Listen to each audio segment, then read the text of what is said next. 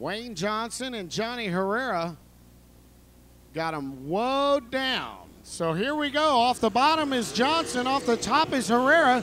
Green flag in the air. We are underway. It's Wayne Johnson right through the middle of the groove in one and right off the top of two. Johnny Herrera takes the lead. It's Herrera in three, and he will lead your field out of turn number four. Johnson dives to the bottom, can't make it stick.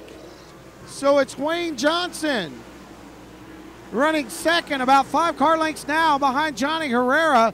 Jonathan Cornell, rim in the top side, takes over that third spot. Derek Hagar, Josh Fisher rounds out your top five. Jordan Weaver, a slide job running eighth.